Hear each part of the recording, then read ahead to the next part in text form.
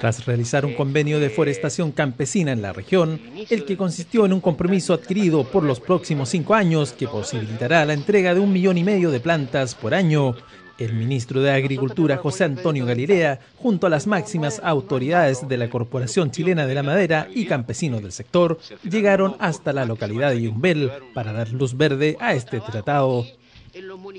En este contexto, el máximo titular de la cartera señaló que se necesita poner urgencia para forestar los suelos que generalmente están erosionados. Que en Chile tenemos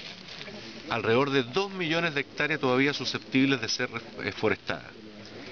Eh, y por lo tanto, eh, para nosotros el Ministerio mantener el decreto ley 701, fundamentalmente focalizado a pequeños y medianos propietarios